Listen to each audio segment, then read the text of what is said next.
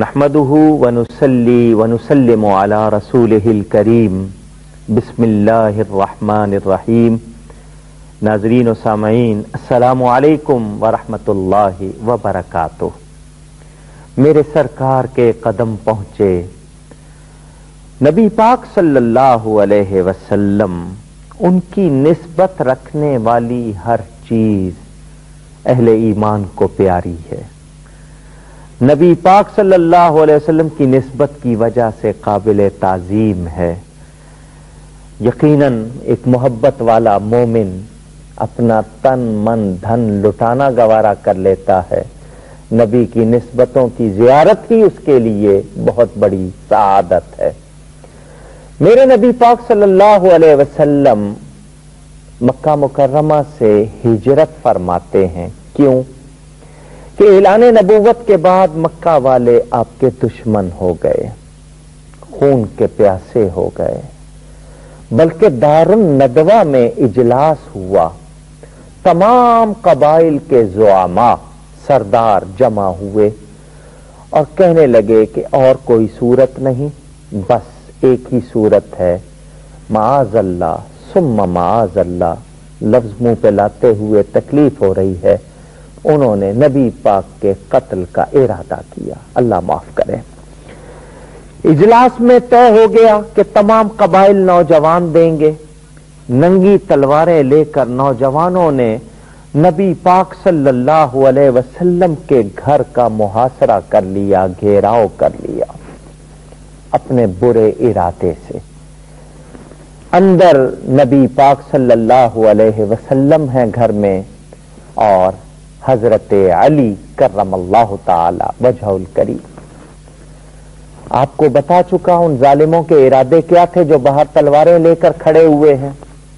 نبی پاک صلی اللہ علیہ وسلم حضرت علی سے اس وقت بھی فرماتے ہیں، یہ میرے پاس ان لوگوں کی امانتیں ہیں، مکے والوں کی، یہ رکھ لو، صبح ان کو لوٹا دینا، ابھی میرے بستر پر سو جاؤ۔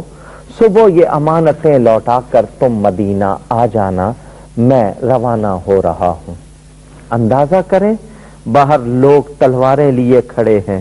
حضرت علی کرم اللہ وجہ الکریم کا ایمان اور قربانی، یہ تصور کیجیے گا تو شاید اس کیفیت کو نہ پا سکیں۔ یہ معمولی بات نہیں، لیکن حضرت علی کا ایمان مضبوط تھا۔ جانتے تھے، آقا سلا رہے ہیں۔ آقا فرما رہے ہیں، کسی شبے کی گنجائش نہیں۔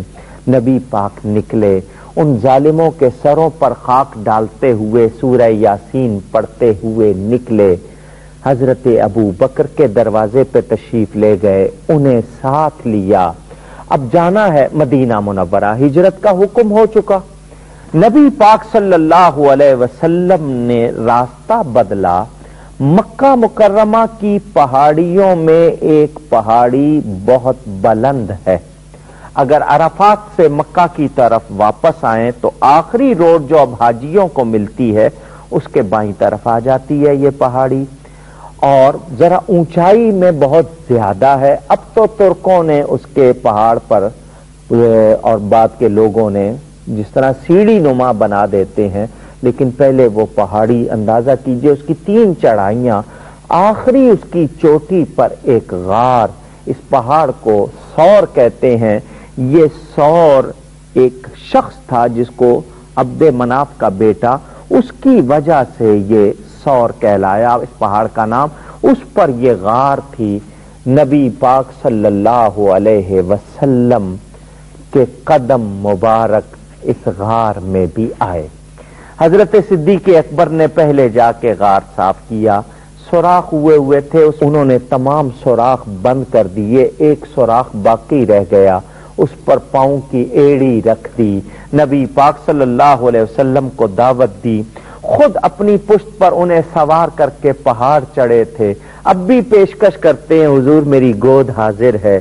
اس میں سر رکھیے اور آرام فرمائیے۔ نبی پاک صلی اللہ علیہ وسلم اپنے اس جان سار اپنے اس پیارے کی یہ خدمت بھی قبول فرماتے ہیں۔ کیوں؟ اس لیے کہ نبی جانتے ہیں کہ اس کے بدل میں انہیں درجہ کیا ملے گا۔